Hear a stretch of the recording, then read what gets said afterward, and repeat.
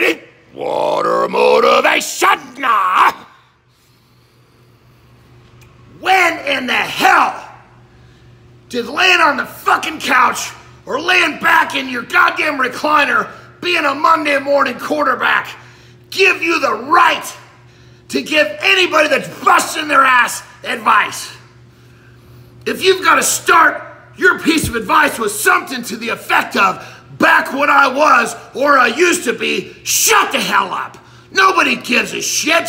You're a lazy piece of crap now, so unless you're gonna do something, shut your fucking pie hole and let those of us that are busting their ass go to work.